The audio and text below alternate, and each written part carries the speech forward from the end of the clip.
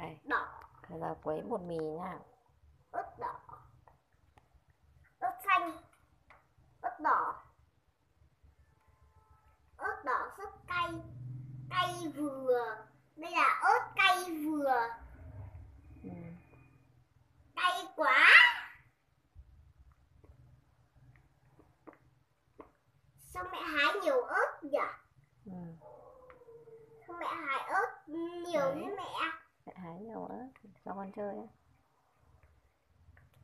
ăn nhưng mà cắn nhiều những ớt xanh và ớt đỏ rồi không biết mẹ đang làm gì đây đang trộn bột ừ. mì. Đúng rồi. Đang nhào bột mì. Để làm bánh cho ai ăn nhỉ?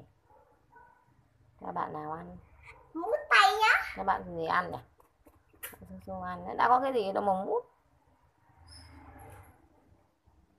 là là mẹ trộn thành bánh rán mẹ rán cái bánh rán lên cho con ăn.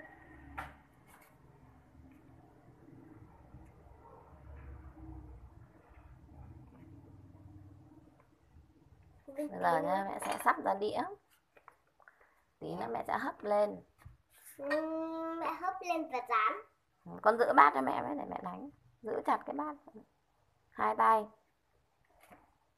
Hai hai bên này này cầm hai bên này giữ chặt mẹ nhào bột cho nó mịn.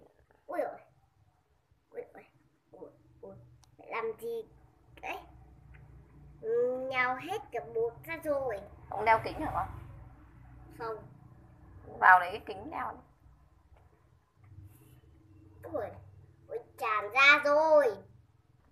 Đây khi các bạn lạn bánh xong rồi thì cho vào nồi cơm điện hấp nha Đấy, lạn được là đếm là 1, 2, 3, 4, 5, 6, 7, 8, 9, 10, 11, 12, 13 13 cái. Cô Du có thích không? Có thích bánh không? Để mẹ cho vào hấp nhá. Có. Ừ. Bánh rất là ngon. Đây là rau sống này. Đây là bánh xong rồi mình sẽ pha mắm chấm nước cùng với rau sống. Rất là ngon Đấy, bán này hết rồi nha chuẩn bị đi hấp bánh thôi.